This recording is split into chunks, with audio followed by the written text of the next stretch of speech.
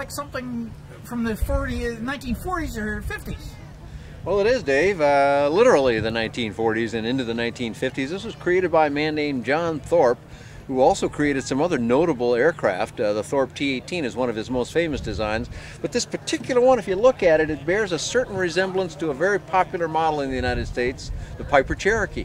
Indeed, this particular aircraft is the one that in many ways led to the Piper Cherokee, the now the Cherokee, now the Warrior design from that company.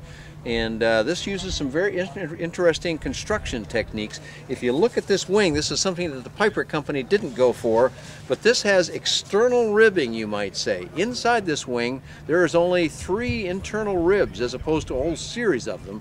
But these uh, bumps, if you will, along the top of the wing provide structural rigidity to the airplane and also help with what's called span-wise flow. You don't want air bleeding out to the end of a wing any more than you have to, and this actually aids that purpose. Now, this aircraft, it looks like it's all metal construction. This is an all-metal airplane completely through and through, and uh, they, it is available with a variety of engines. Now, they have reshaped the nose cowling on it, uh, thanks to some initial work by the Lopresti people of uh, speed mod fame.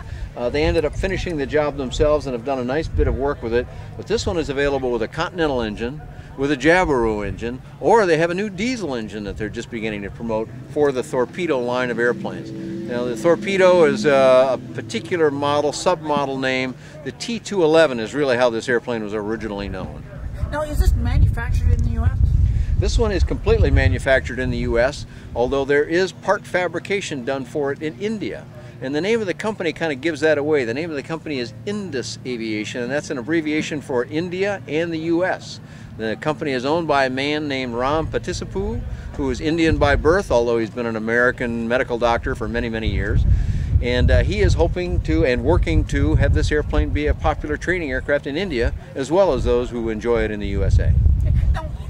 Uh, dollars and cents wise, I understand that this is priced within that training range, something that is low priced and very durable.